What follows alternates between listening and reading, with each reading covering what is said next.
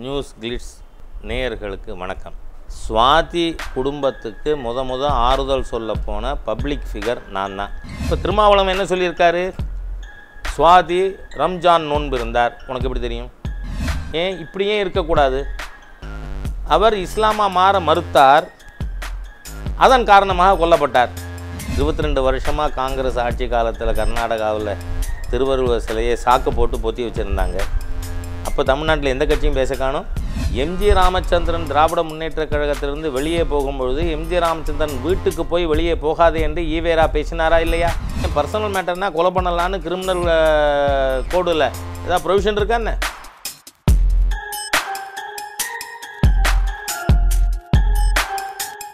சுவாதி கொலை வழக்குல பிலால் மாலிக் அப்படிங்கிற ஒரு முஸ்லிம் நபரை நீங்க குறிப்பிட்டதா செய்திகள்லாம் வெளியாச்சு?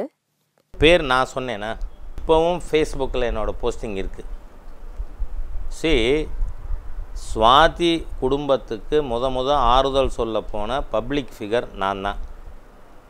அப்போ கூட நான் ஊடகத்தை யாரையும் கூட்டிகிட்டு போகல ஏன்னா ஏற்கனவே குழந்தை இழந்து வருத்தத்தில் இருக்கின்ற குடும்பத்தை தர்ம சங்கடத்தில் ஆழ்த்துவதற்கு நான் விரும்பலை. ரெண்டாவது இதில் போய் பப்ளிசிட்டி தேடணுங்கிற அவசியம் எனக்கு இல்லை. ஆனால் நான் என்ன சொல்லியிருக்கேன்னு சொன்னால் இங்கே ரயில் பயணிகளின் போ- பாதுகாப்புக்காக ஸ்டேட் போலீஸ்லேயே ஒரு டிவிஷன் இருக்குது அதுக்கு டிஐஜியாக இருக்கிற பாஸ்கர்.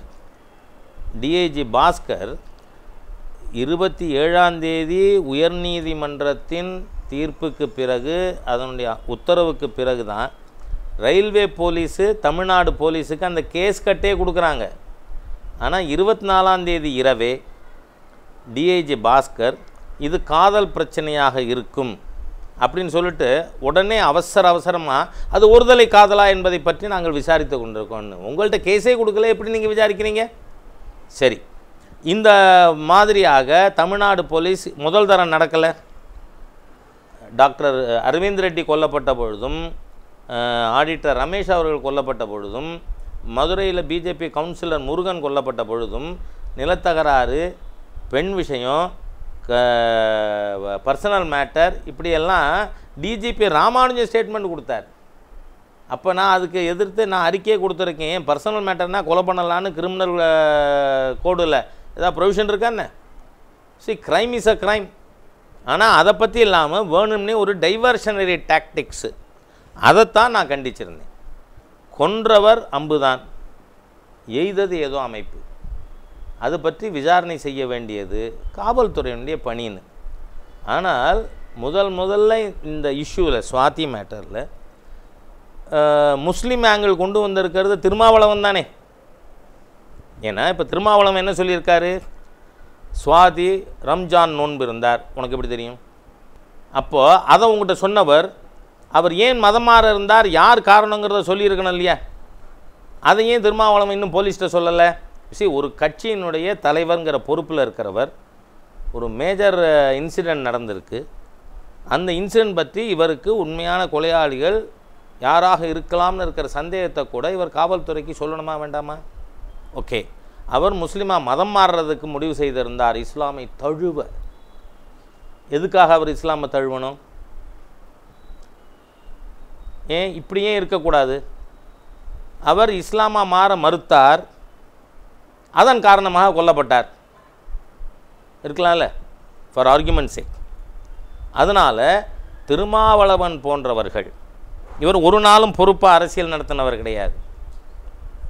ஒரு நாளும் நாகரிகமான அரசியல் நடத்தினவர் கிடையாது. அவர் இதுக்கு முஸ்லீம் ஆங்கிள் கொடுத்துருக்கிறது அவர் தான் அதனால் காவல்துறை அவரை விசாரிக்கணும்னு கேட்டிருக்கேன் நான். நான் எங்கேயுமே வந்து எந்த மத பேரும் சொல்லலை நபர் பேரும் சொல்லலை. மற்றவர்கள் சொல்லியிருக்கலாம் don't attribute anybody else statement to மீங்கிறேன் நான் என்ன? அதனால் இதில் எந்த ஆங்கிளும் நான் சொல்லலை. ஒரு பெண்ணோட கொலை வழக்குல திருமாவளவனும் நீங்களும் மாறி மாறி கருத்து சொல்லிட்டே இருக்கீங்க. இது ஒரு நாகரிக அரசியலுக்கு வழிவகுக்கும்னு நினைக்கிறீங்களா? சே நாகரிகங்கிறது எது? அதில் திருமாவளவன் சுவாதி இஸ்லாமியரா இஸ்லாமை தழுவ ஏன்னா எனக்கு இன்னும் தகவல் இருக்குது சமீபத்தில் திருமாவளவன் ஒரு நிகழ்ச்சியில் சந்தித்த பொழுது பிஜேபியின் மத்திய அமைச்சராக பொன் ராதாகிருஷ்ணன் ஸ்வீட்டு கொடுத்த பொழுது திருமாவளவன் அதை மறுத்துவிட்டு நான் நோன்பு இருக்கேன்னு சொல்லியிருக்கார் அப்படின்னு ஒரு தகவல் இருக்குது அப்படின்னா திருமாவளவன் யார்? ஒரு ரிசர்வ் சீட்டில் போட்டி போடணுங்கிறதுக்காக போலியாக ஹிந்து பேர் வச்சிருக்கிறவர் அப்படின்னு சொல்லி சொல்லலாம் இல்லையா? ஆகவே இஸ் அ ப்ராக்டிசிங் முஸ்லீம்னு யாராவது சொன்னால் அப்போ அதுக்கு அவர் பதில் சொல்லட்டும். ஆனால் அவர் என்ன சொல்கிறாரு சுவாதி மதம் மாறுவதற்காக முடிவு செய்திருந்ததை ஆர்எஸ்எஸ் இந்துத்துவா தலைவர்கள் விவாதித்தார்கள்னு. எங்களை பற்றி ஒரு குற்றச்சாட்டை ஒருவர் வெளியில் பகிரங்கமாக சொல்லும் பொழுது அதை மறுக்க வேண்டிய கடமை எனக்கு இருக்கா இல்லையா? ஸோ இதில் நாகரிகம்ங்கிறது அவர் சொன்ன கருத்து தப்பு. அந்த தவறான கருத்தை சொன்னதுக்கு அவர் மன்னிப்பு கேட்கணும் நான் கேட்டது எப்படி நாக அநாகரீகமாகும்? அவர் பேசியது மத பிரச்சனை கொண்டு வந்து கொல்லப்பட்ட ஒரு பெண்ணின் புகழுக்கு களங்கம் கற்பிக்க வேண்டும்னே இவர் செய்யணும்னு சொன்னால் அதில் இவரோட இன்ட்ரெஸ்ட் என்னன்னு கேட்குறேன் நான். ராம்குமாருக்கும் இவருக்கும் என்ன தொடர்பு? எதுக்கு ராம்குமார் இவர் பாதுகாக்கிறதுக்கு வரணும்?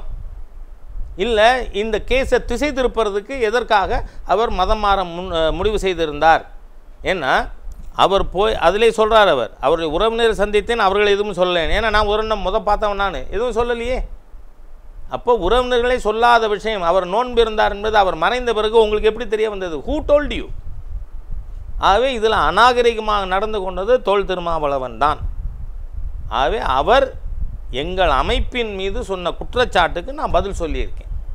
சுவாதி கொலை வழக்கு சரியான பாதையில தான் போகுதா? I don't know I don't want to comment அது சரி சரியில்லைங்கிறதுக்கு எங்கிட்ட என்ன மெட்டீரியல் இருக்குது அது சரின்னு சொல்கிறதுக்கும் I don't have any material சரியில்லைன்னு சொல்கிறதுக்கும் I don't have any material டெல்லியில நடந்த முதல்வர் மாநாட்டுக்கு ஜெயலலிதா கலந்துக்கல. அத பத்தி நீங்க என்ன நினைக்கிறீங்க?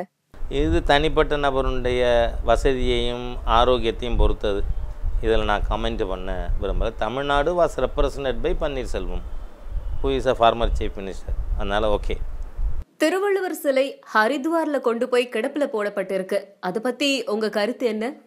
அது ஒரு டெக்னிக்கல் மிஸ்மேனேஜ்மெண்ட்டு தான் நான் நினைக்கிறேன். அதாவது யாரோட இடமா இருந்தாலும் முன்னனுமதி வாங்கி ஏற்பாடுகள் செய்து செஞ்சுருக்கணும். திடீர்னு போய் ஒரு இடத்துல வைக்கிறதுங்கிறது இப்போ உங்கள் வீட்லேயே ஏதாவது ஒரு சிலையை கொண்டு வைக்கிறாங்கன்னு ஐடியாலஜிக்கலி உங்களுக்கு அதில் விருப்பம் இருந்தாலும் நாளைக்கு பப்ளிக் வருவான் அதனால் நீங்கள் அதை அனுமதிக்கலாமா கூடாதா? அப்படிங்கக்கூடிய ஒரு தயக்கம் உங்களுக்கு வருமா இல்லையா?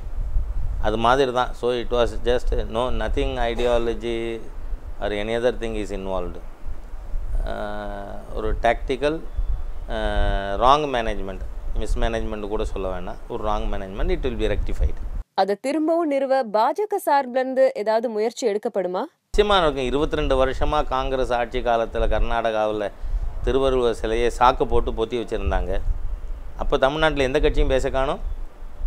ஆனால் அதை அங்கே திறந்து வச்சது யார்? பிஜேபி சர்க்கார் தான். எடியூரப்பா சிஎம் ஆன உடனே அதை திறக்க வைக்க முடிஞ்சது நம்மால். அதனால் இது this also we will resolve it no problem ஆனால் இன்றைக்கி வந்து ஊடகத்தில் கூச்சல் போடுறவர் யாராவது இன்றைக்கி திருவள்ளுவர் சில இருபத்தி ரெண்டு வருஷமாக மூடி கிடந்ததை சாக்கு போட்டு பேசினாங்களான்னு? பிஜேபி மட்டும்தான் அப்பயும் பேசணும் அனந்தகுமார்ஜியோட பேச்சுவார்த்தை நடத்தினோம். நமக்கு ஆ- வந்து அதில் வட்டல் நாகராஜ் போன்ற கன்னட வெறியர்களுடைய கூச்சலுக்கு பயந்து காங்கிரஸும் ஜனதாதளும் அதை திறக்கிறதுக்கு துணியலை. நாம் ஆட்சிக்கு வந்த உடனே இம்மீடியட்டாக பண்ணிட்டோமே. அதனால this also we will resolve no problem பாஜகவுக்கோ ஆர்எஸ்எஸ்க்கோ என்ன தொடர்பு இருக்கு? அதாவது பாஜகவுடைய முக்கியமான முடிவுகள் எல்லாம் ஆர்எஸ்எஸ் தான் எடுக்குது அப்படிங்கிற ஒரு விமர்சனம் எல்லா இடத்துலயுமே இருக்கு. அதுக்கு நீங்க என்ன சொல்றீங்க? யூசி பேசுகிறவர் என்ன வேணால் பேசலாம். ஆர்எஸ்எஸ்ஸுக்கும் பிஜேபிக்கும் இருக்கிறது கொள்கை குடும்பம் அது ஐடியலாஜிக்கல் பரிவார். ஆகவே கொள்கை ரீதியான விஷயங்களில் கருத்தொற்றுமை இருக்குது அதனால் கூடுறோம் பேசுகிறோம் ஆனால் நிர்வாகம் நிதி நீதி எல்லாமே தனித்தனியானது. ஏன்னா ஆர்எஸ்எஸ்ஸுக்கு ஐடியாலஜிக்கல் பரிவாரில் பல்வேறு அமைப்புகள் இருக்குது அந்தந்த அமைப்பு விஸ்வ பரிஷத்திற்கு விஷவந்து பரிஷத்தை பரிஷத்து பரிஷத்தை பரிஷத் தான் மேனேஜ் பண்ணுது. பிஜேபியை பிஜேபி தான் மேனேஜ் பண்ணுது. ஆனால் கருத்து கேட்குறதுல என்ன தப்பு? எம்ஜி ராமச்சந்திரன் திராவிட முன்னேற்றக் கழகத்திலிருந்து வெளியே போகும்பொழுது எம்ஜி ராமச்சந்திரன் வீட்டுக்கு போய் வெளியே போகாதே என்று ஈவேரா பேசினாரா இல்லையா? அது பற்றி ஈவேரா கருத்து சொன்னாரா இல்லையா? அப்போ திமுக வழி நடத்தியது தீகா என்பதை ஒற்றுக்கொள்கிறார்களா அதனால் ஏதோ உலகத்தில் நடக்காத விஷயம். அது ஏதோ பிஜேபியில் ஆர்எஸ்எஸ் நடக்கிற மாதிரியா பேசுகிறதெல்லாம் ஒன்று அறியாமையால் பேசணும் இல்லை அயோக்கியத்தனத்தால் பேசணும். தமிழ்நாட்டில் பொறுத்த வரைக்கும் கேரளாவில் முல்லை பெரியார் அணை பிரச்சனை கர்நாடகத்தில் காவிரி நீர் பிரச்சனை ஆந்திராவில் பாலாற்று பிரச்சனை இப்படி சுத்தி பிரச்சனையாவே இருக்கே. இதுக்கு என்ன தீர்வுன்னு நீங்க நினைக்கிறீங்க? அது காரணம் தமிழ்நாட்டில் அறுபத்தி ஏழுலேருந்து எந்த ஒரு அணையிலும் பைகின்ற மழை நீரை காப்பாற்ற வேண்டும் பாதுகாக்க வேண்டும் என்பதற்கு ஏதாவது நடவடிக்கை எடுத்தோமா? நான் ரெண்டாயிரத்து ரெண்டில் சட்டமன்றத்தில் பேசியிருக்கேன்.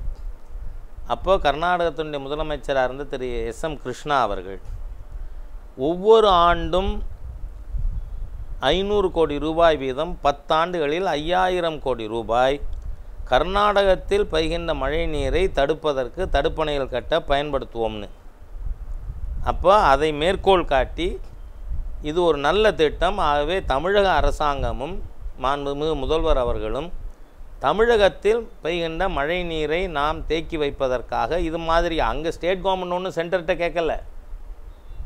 எஸ். எம். கிருஷ்ணா அவர் மாநிலத்தில் அவர் budget was chief minister as well as finance minister அப்போ அவர் சமர்ப்பித்த பட்ஜெட்டில் அவர் தெளிவாக சொல்லியிருக்கார்.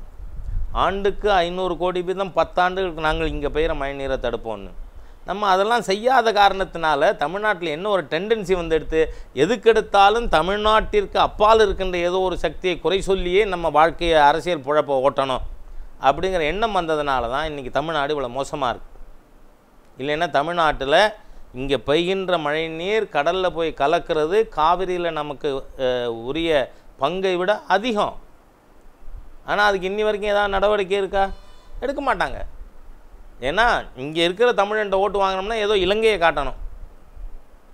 இங்கே இருக்கிற மீனவரை பிரச்சனை பிரச்சனை என்னென்னா இலங்கையில் இருக்கிற மீனவனும் தமிழ் மீனவன் தான்.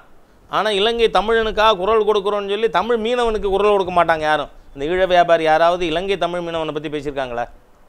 அதனால் தமிழ்நாட்டில் பிரச்சனையே நம்ம ஆட்டிடியூடினல் பொசிஷன் தான் காரணம். அது முத மாற்றிக்கணும் திமுக அதிமுக. மத்தியில பாஜகவுக்கு நல்ல செல்வாக்கு இருந்தாலும் தமிழகத்துல தமிழ்நாட்டு மக்கள் கிட்ட பாஜகவை கொண்டு சேர்க்க முடியலன்னு ஒரு விமர்சனம் இருக்கு. அதுக்கு நீங்க என்ன சொல்றீங்க? அதாவது எங்கெல்லாம் ஒரு போலரைஸ்டு பொலிட்டிக்கல் சீனரியோ இருதுருவ அரசியல் இருக்கோ அங்கே மூன்றாவது கட்சி கொண்டு வர்றதுங்கிறது ஒரு கடினமான பணி தான் ஆனால் மாற்றுன்னு வரும்பொழுது ரொம்ப வேகமாக வரும். ஏனென்றால் ஆயிரத்தி தொள்ளாயிரத்தி எண்பத்தி ஐந்தில் குஜராத்தில் பிஜேபியினுடைய ஸ்ட்ரென்த்து சட்டமன்றத்தில் ஏழு பேர் வாக்கு சதவீதம் மூணரை பர்சன்ட் தான். ஆனால் எண்பத்தி ஒம்பது பிஜேபி ஆட்சிக்கே வந்துருச்சு. எண்பத்தஞ்சிலேருந்து குஜராத்தில் நடந்த எல்லா இடைத்தேர்தலும் பிஜேபி தான் ஜெயிச்சது. பதினோரு இடைத்தேர்தல்கள். ஏன்னா அங்கே இதே மாதிரி இருதுருவ அரசியல் தான் காங்கிரஸ் மற்றும் ஜனதா தள். சிம்மன்பாய் பட்டேல் தலைமையில். ஆகவே தமிழ்நாட்டில் இன்றைக்கி கிட்டத்தட்ட மூன்று சதவீதம் வாக்குகள் பிஜேபிக்கு இருக்குது இங்கே மக்களிடம் பிஜேபிக்கு இருக்கின்ற செல்வாக்கு வரவேற்பு அதை வாக்குகளாக மாற்றுவதில் பூத்தளவில் இருக்கின்ற அமைப்பு பலவீனமாக இருந்ததுனால மாற்ற முடியலை. ஆகவே இப்போது அதில் கவனம் செலுத்த ஆரம்பிச்சிருக்கோம். எனவே தமிழ்நாட்டிலையும் பிஜேபி ஒரு வலிமையான சக்தியாக வரும் அப்படிங்கிற நம்பிக்கை இருக்குது எனக்கு. ஏன்னா இன்றைக்கி தமிழ்நாட்டிலேயே மக்களிடம் எதிர்ப்பில்லாமல் வரவேற்பு அதிகமாக இருக்கிறது பிஜேபி தான் மோடி தான். ஆனால் அது வாக்குகளாக கன்வெர்ட் பண்ணுற மாத்திரம் நமக்கு சிரமமாக இருக்குது we will overcome that பாஜகவோட தோல்விக்கு என்ன காரணம்? நான் தான் சொல்லிட்டேனே அமைப்பின் பலவீனம் தேர்தல் தோல்விக்கு காரணம். இதனால கட்சியில ஏதாவது சேஞ்சஸ் கொண்டு வந்தீங்களா? இங்கே பாருங்களேன் களை எடுக்கிறதுங்கிறது வந்து களை இருக்குன்னு ஒத்துக்கொண்டாதானே. என்ன? அதனால் அதை பற்றி நாம் சிந்திக்க தேவையில்லை. மக்கள் பிஜேபியை வரவேற்கிறாங்க. அதனால் கட்சியை வந்து கவனம் செலுத்த வேண்டிய ஏரியா என்னங்கிறத சொல்லிட்டேன். அதன் மூலமாக நிச்சயமாக ஒரு மாற்றத்தை கொண்டு வரலான்ற நம்பிக்கை இருக்கு எனக்கு. உள்ளாட்சி தேர்தல்ல எந்த மாதிரியான வியூகம் வகுத்திருக்கீங்க? பொதுவாக உள்ளாட்சி தேர்தலில் கூட்டணிகள் ஈடுபடாது. ஏன்னா நாங்கள் ரெண்டாயிரத்தி ஒன்றில் திராவிட முன்னேற்றக் கழகத்தோடு கூட்டணி உள்ளாட்சி தேர்தல்னு சேர்ந்து போட்டியிட்டோம்.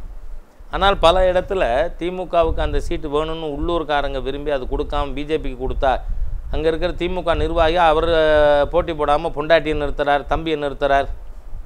இது பற்றி அப்பொழுது திரு மு. கருணாநிதி அவர்கள்ட்ட நாம் பேசும்பொழுது இந்த உள்ளாட்சியில் டிசிப்ளின் கொண்டு வர்றது கஷ்டம். உள்ளூர் அபிலாஷைகள் உள்ளூர் செல்வாக்கை பொறுத்தது. அப்படின்னு சொன்னார். அதுவும் யதார்த்தமாக தான் இருந்தது. அதனால் உள்ளாட்சி தேர்தலில் கூட்டணி பற்றி நாம் பேசுறது ங்கிறது இட் வில் பி ஃப்ரூட்லெஸ் அதனால் பாரதிய ஜனதா கட்சி எங்களோட பலத்தில் நாங்கள் போட்டியிடுவோம் பாஜகவுல ஆளுமை திறன் மோடிக்கு அதிகமா இருக்கா? இல்ல வாஜ்பாய்க்கு அதிகமா இருக்கா? மு வாஜ்பாய்ஜி தான் முத முத பிஜேபி ஆட்சிக்கு கொண்டு வந்தார். அவர் பீரியடில் இருந்த திட்டங்கள் பல நாம் இப்போ தொடர்ந்து செயல்படுத்தி கொண்டு இருக்கிறோம் அது கோல்டன் குவாட்ரிலேட்டரலாக இருக்கலாம் அல்லது சாகர்மாலாவாக இருக்கலாம். ஆகவே இதில் ஆளுமை திறன் ரெண்டு பேரும் ஒரு பிஜேபிக்கு முன்மாதிரியான செயல்திறன் உள்ள மக்களால் விரும்பப்படுகின்ற தலைவர்கள்.